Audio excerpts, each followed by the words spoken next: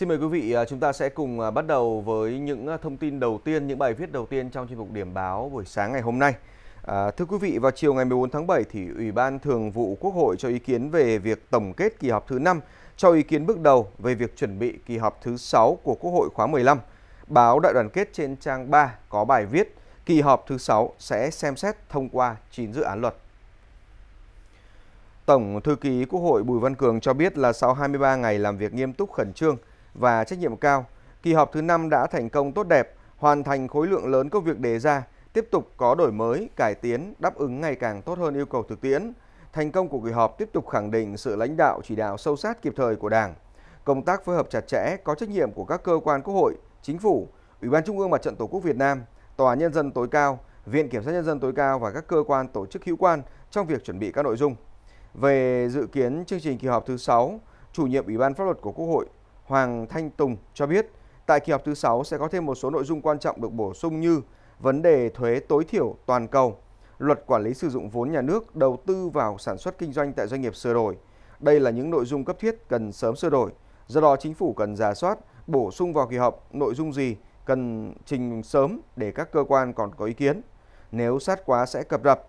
Phát biểu tại phiên họp, Chủ tịch Quốc hội Vương Đình Huệ nhấn mạnh kỳ họp thứ 5 đã kết thúc tốt đẹp, hoàn thành một khối lượng công việc lớn từ công tác lập pháp cho đến vấn đề công tác nhân sự.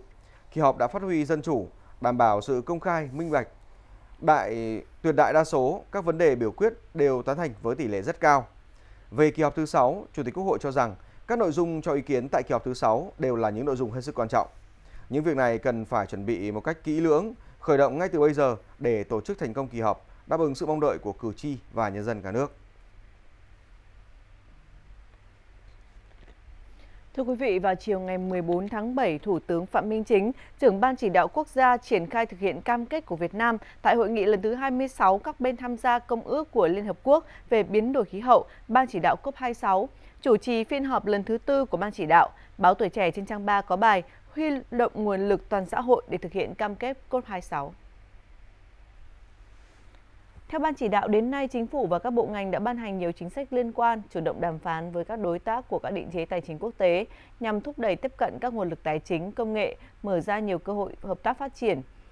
Hướng tới tăng trưởng phát thải carbon thấp, Việt Nam đã đàm phán thành công tuyên bố chính trị thiết lập quan hệ đối tác chuyển đổi năng lượng công bằng với các quốc gia G7. Đến nay, đề án triển khai với 10 nhóm nhiệm vụ trọng tâm đã hoàn thành và trình Thủ tướng.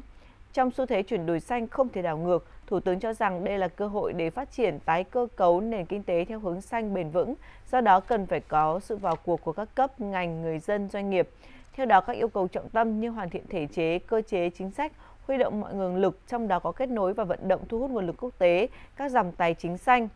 chuyển giao công nghệ, tri thức, kinh nghiệm của các nước, các tổ chức quốc tế, đẩy mạnh nghiên cứu phát triển, chuyển giao công nghệ, sản xuất, trang thiết bị, phát triển ngành công nghiệp năng lượng tái tạo.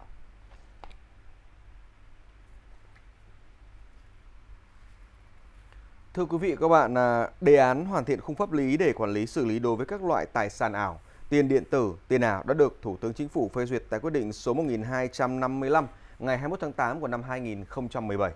Tuy nhiên đến nay vẫn chưa có văn bản quy phạm pháp luật nào cụ thể về tài sản ảo được ban hành. Điều này làm cho các quan hệ dân sự liên quan đến tài sản ảo rơi vào khoảng trống, không có cơ chế để giải quyết một cách phù hợp Trang 7, báo đại biểu Nhân dân có bài viết lấp khoảng trống pháp lý về tài sản ảo.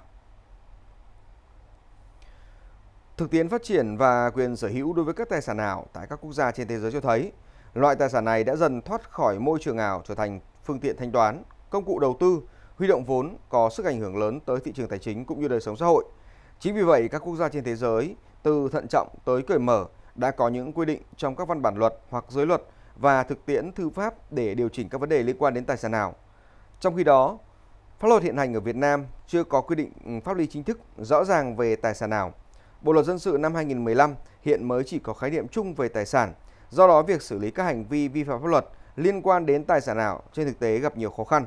Chuyên gia kinh tế, tiến sĩ Nguyễn Trí Hiếu cho biết, hiện chưa có quy định về tài sản ảo nên không thể xác định được tài sản ảo gồm những gì và giá trị như thế nào. Thực tế có những tài sản ảo được thẩm định và đẩy giá trị lên rất cao do nhu cầu của thị trường. Việc không có thước đo, không có cơ sở để định nghĩa giá các đồng tiền kỹ thuật số có thể dẫn đến giá trị đó trôi nổi trên thị trường và tạo ra những tài sản ảo. từ đó kéo theo việc dịch chuyển dòng tiền bên cạnh tài sản ảo và tác động đến nền kinh tế. Vào ngày 14 tháng 7, Thanh tra Chính phủ tổ chức hội nghị trực tiếp sơ kết công tác 6 tháng và triển khai nhiệm vụ 6 tháng cuối năm. Dự và phát biểu tại hội nghị,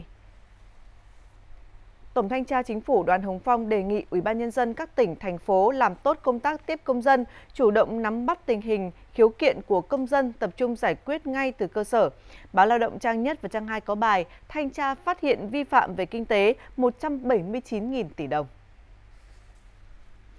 Báo cáo công tác 6 tháng đầu năm 2023 của Thanh tra Chính phủ cũng cho biết, qua thanh tra đã phát hiện vi phạm về kinh tế gần 1.700 gần 179.000 tỷ đồng, 404 ha đất, trong đó kiến nghị thu hồi 148.000 tỷ đồng và 9 ha đất. Cũng theo cơ quan thanh tra,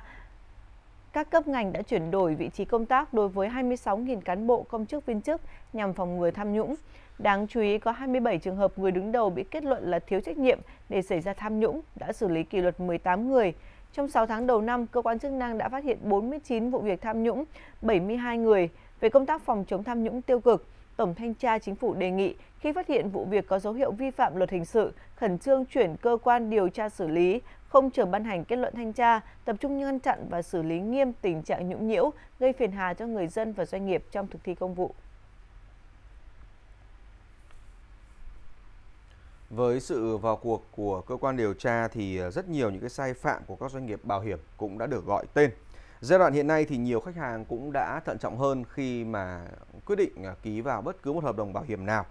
À, vì thế các doanh nghiệp bảo hiểm thì bắt buộc sẽ phải chấn chỉnh để lấy lại niềm tin của khách hàng. Báo Đại đoàn kết số ra ngày hôm nay trên à, trang 6 có bài Doanh nghiệp bảo hiểm chấn chỉnh để lấy lại niềm tin. Theo kết luận thanh tra, việc kiểm tra bán bảo hiểm qua ngân hàng tại 4 doanh nghiệp bảo hiểm là Prudential,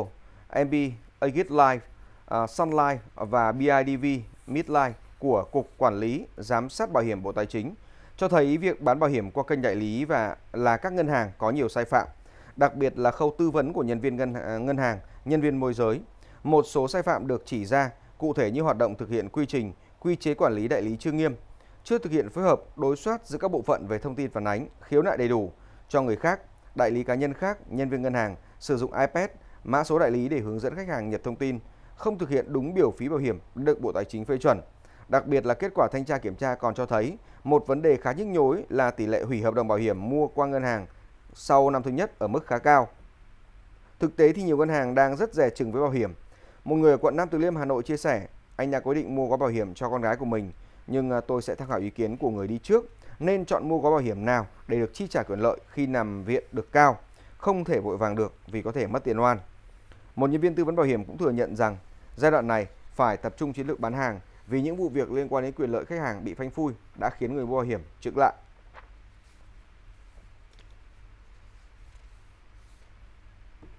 Hiệp hội Chế biến và Xuất khẩu Thủy sản Việt Nam VASEP dự báo xuất khẩu thủy sản có thể hồi phục trong nửa cuối năm nay nhờ tín hiệu khả quan hơn ở các thị trường tiêu thụ và nếu khó khăn tài chính của doanh nghiệp sớm được tháo gỡ. Trang 5, báo đại biểu Nhân dân có bài xuất khẩu thủy sản có thể phục hồi vào cuối năm. Lũy kế 6 tháng đầu năm xuất khẩu thủy sản thấp hơn 27% so với cùng kỳ năm ngoái, đạt gần 4,2 tỷ đô la Mỹ. Tuy nhiên theo VASEP sẽ phục hồi đang xuất hiện khi mà kim ngạch tháng sau cao hơn tháng trước và trong tháng 6 đạt 800 triệu đô la Mỹ. Tổng thư ký VASEP Trương Đình Huệ cho biết các thị trường nhập khẩu chính như là Mỹ, EU, Trung Quốc, Nhật Bản bị chi phối bởi hai yếu tố chính là lạm phát và tồn kho. Lượng tồn kho đang được giải tỏa dần ở các thị trường, nhu cầu dự báo sẽ tăng trở lại trong nửa cuối năm. Lạm phát chưa có dấu hiệu hạ nhiệt, đây là cái phanh kìm hãm sự hồi phục nhu cầu tiêu thụ và nhập khẩu ở Mỹ, EU. Tuy nhiên, thị trường Nhật Bản, Hàn Quốc, Australia vẫn được coi là điểm đến lạc quan cho sản phẩm thế mạnh của Việt Nam, đó là những mặt hàng chế biến sâu có giá trị gia tăng cao. Trung tâm phân tích của công ty cổ phần chứng khoán SI cũng dự báo trong 6 tháng cuối năm, các công ty xuất khẩu cá tra có thể ghi nhận mức lợi nhuận cải thiện hơn nhờ chi phí sản xuất cũng như chi phí vận chuyển giảm. Tại một số doanh nghiệp đơn đặt hàng trong quý 3 dần cải thiện so với quý trước về sản lượng tiêu thụ, cho thấy những tín hiệu tích cực.